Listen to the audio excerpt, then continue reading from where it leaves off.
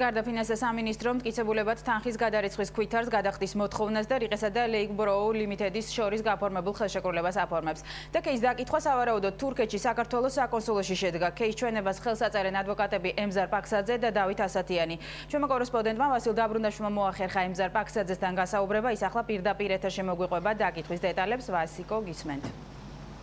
დიახჩე რამდენიმე წუთის წინ ვესაუბრეთ ჯოზეფ კეის ერთ-ერთ ადვოკატს ემზარ პაქსაძეს ემზარ პაქსაძე ქრონიკას დეტალურად აცნობს იმ გარემოებებს თუ რა ვითარებაში მოხდა ჯოზეფ კეის დაკითხვა როგორც პაქსაძე ქრონიკას უყვება დაკითხვა საკმაოდ მშვიდ ვითარებაში მიმდინარეობდა და ჯოზეფ კეიმ საკმაოდ ამომწურავი პასუხები გაასცა გამოძიების შეკითხვებს რიყისა და ტელეკომპანია იმედის საკითხთან დაკავშირებით ჩვენ როგორც მოწვის სახით მიცა ის მიუთითებს რომ გვიან ღამით დაახლოებით სავარაუდოდ დეკემბრის 15-16-ში აი ესეთი პერიოდი იყო მას დაუკავშირდა დავით კეზერაშვილი ისი კეზერაშვილი რომელმაც უთხრა რომ ის არის რა ქვია შენთან შეხვედრა მინდაო ანუ ჯოზეფმა უთხრა რომ იცი დაცვა გაშვებული მყავს და როგორ გამოვიძახებ და მოვალ არა მანქანა გელოდება უკვე და გამოყევიო რომ მივიდა იქ დაცვისევრებით დახვდა კეზერა და უთხრა რომ იმედი უნდა დაგვითმო დაგვითმო ჩვენ.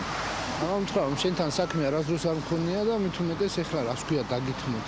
არა არა ლის სწორი საუბარი ჩვენ შორის და გასაგებია გავიდა ოთახიდან და მე ვიფიქრე რომ ალბათ დროს მაძლევს მოფიქრებისთვის ეგეთი რაღაცები აქვს და თუმცა შემოვიდა ცოტა ხანში და მომცა ტელეფონი.